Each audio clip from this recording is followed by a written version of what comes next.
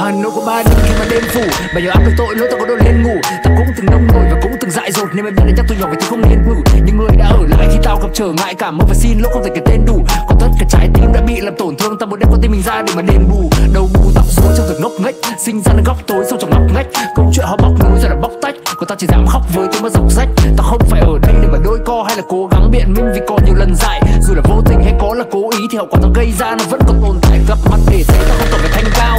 Gầy gò và có phật xanh sao. Những gì tao đã đang và sẽ làm chắc có lẽ chúa trời sẽ mài một thanh đao. Để mà đảm bảo một cuộc đời hoàn hảo mới ở hoàn cảnh tao có lẽ không thể nào nếu như mà tao xuất hiện trên trang báo thì cũng không được đặt vào mục tiêu đề cao. Có thằng nó phải tiền, không muốn rap một mình. Luôn niềm tin thật sự của tao ra làm biện pháp cực hình. Vậy bức tranh toàn cảnh mày sẽ hiểu bao nhiêu nếu mà chỉ nhìn qua vài cái cáp màn hình. Những gì họ biết chỉ là một cái tên. Hình ảnh họ thấy có màn hình điện thoại. Những gì ngu dốt tao làm trong quá khứ nó không đại diện con người tao ở hiện tại. Hay là đánh cái chạy lại thì có lẽ đối với tao nó cũng không khác biệt. Một khi đã sai thì chắc chắn tao đừng im để những trận đòn cho phần nó có ác liệt. Vì tao biết đã quá muộn để nói lời xin lỗi.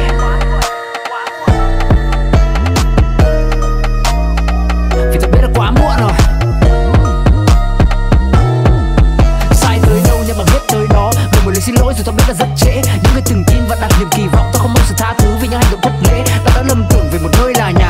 cái giá cứ gấp đôi mà trả. Tao cũng chẳng biết như thế nào là sống thật, nếu mà mọi điều tao làm, họ đều coi là giả. Bởi vì họ là quan tòa, họ là thẩm phán còn tao chắc là mẫu vật để họ chẩn đoán. Quá trình xét xử thật là nhàm chán, tình cảm mà tao đánh mất chính là bản án. Sẽ không có phản cáo hay một lời kháng cáo, còn nếu thích đàm đạo, xin mời ngồi nói chuyện. Phải với trái, nó cũng chỉ là góc nhìn. Vậy làm sao tranh luận khi hai ta đứng đối diện? À.